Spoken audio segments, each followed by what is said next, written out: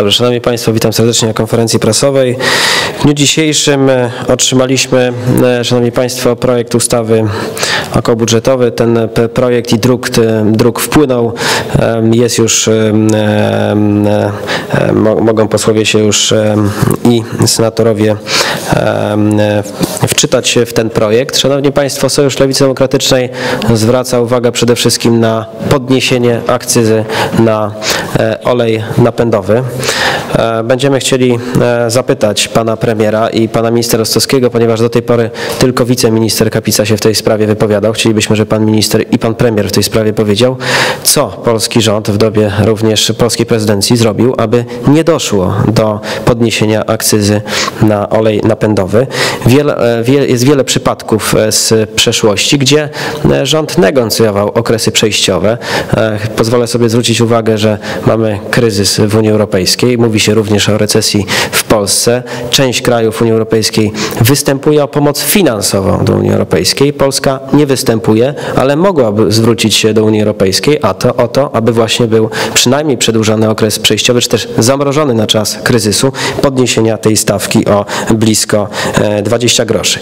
No, podniesienie stawki e, na e, olej napędowy w tych, w tych propozycjach, które zostały ujęte również e, w uzasadnieniu, e, spowoduje oczywiście podniesienie e, cen e, usług i towarów, e, ale tutaj pan minister ukrywa jeszcze jedną informację. Otóż no, kiedy te produkty i towary, te ceny poszybują w górę, no to oczywiście VAT również wzrośnie i tym samym wzrost tego będzie odczuwalna przez, w kieszeni każdego z naszych mieszkańców Polski. Więc wpływ tego e, podniesienia tej akcyzy na olej napędowy będzie miał ogromny e, dla portfelu e, zwykłego obywatela i obywatelki, dlatego też zwróci, zwracamy się, aby em, premier odpowiedział, co zrobił w dobie polskiej prezydencji, aby powstrzymać, aby też e, wynegocjować okres przejściowy, na to, aby nie podnosić e, właśnie tych stawek e,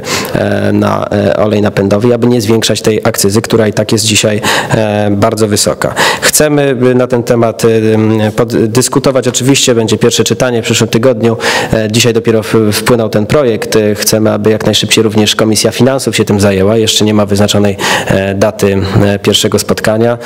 Oczywiście apelujemy do przewodniczącego Rosatiego, aby również tą sprawą jak najszybciej się zajął. Jak najszybciej, dlatego że jak pokazuje historia, wystarczyło czasami 2-3 tygodnie na to, aby rząd negocjował okresy przejściowe w różnych innych sprawach, a przypomnę, że również chociażby podwyższenie na, m, e, nie tylko na akcyzę od paliw silnikowych, ale również wyrobów ty- tytoniowych wcześniej były negocjowane przez rząd i udawało się te okresy przejściowe e, zaproponować i podpisać. I e, czas trwania, można powiedzieć, tych negocjacji nie był dłuższy niż 2-3 tygodnie, więc jeszcze jest czas całego miesiąca grudnia i części listopada, by negocjować z Unią Europejską o to, aby przynajmniej na ten okres roku, dwóch, na okres kryzysu nie wprowadzać, nie wprowadzać podwyżki akcyzy na e, paliwa e, silnikowe. O to e, dzisiaj e, nie tylko prosi klub e, Sojuszu Lewicy Demokratycznej, a przede wszystkim e, mieszkańcy naszego kraju, którzy i tak już dzisiaj bardzo wysoką cenę płacą za, e, za olej napędowy. Już jest ponad 5 zł 50 groszy.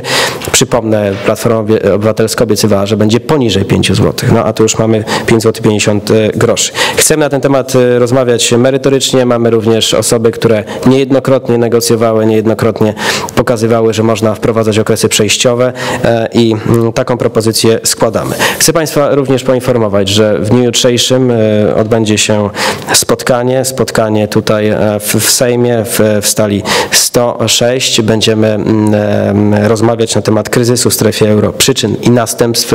Przewodniczący Leszek Miller jako przewodniczący Instytutu Europejskiego, takiego swoistego think tanku działającego przy klubie poselskim Sojuszu Lewicy Demokratycznym, em, em, można powiedzieć po raz kolejny się spotyka. Tym razem e, zaprasza specjalistów, e, profesorów, naukowców, aby porozmawiać, co się dzieje w strefie euro i jakie mogą być następstwa również e, w kontekście naszego kraju, jeśli chodzi o tą sytuację i ten kryzys. Więc również Sojusz Lewicy Demokratycznej jutro zaprasza Państwa na godzinę 11, abyśmy powiedzieli o naszych propozycjach, a o godzinie godzinie 13.30 po, po już tej konferencji, po dużym spotkaniu również na udział z profesorami, z naukowcami, którzy będą w tej sprawie zabierali głos. W dniu jutrzejszym e, profesor Zbigniew Olesiński będzie prowadził innymi tą debatę kryzys w strefie euro, przyczyny i e, następstwa. To jest odpowiedź też Sojuszu Lewicy Demokratycznej na to, co się dzieje w Unii Europejskiej, na ten kryzys i na propozycje, e, które również e, zostaną przedstawione przez e, Sojusz Lewicy Demokratycznej. Tyle z mojej strony. Bardzo dziękuję. Jeśli są pytania, to bardzo proszę. Jeśli nie ma, to dziękuję bardzo.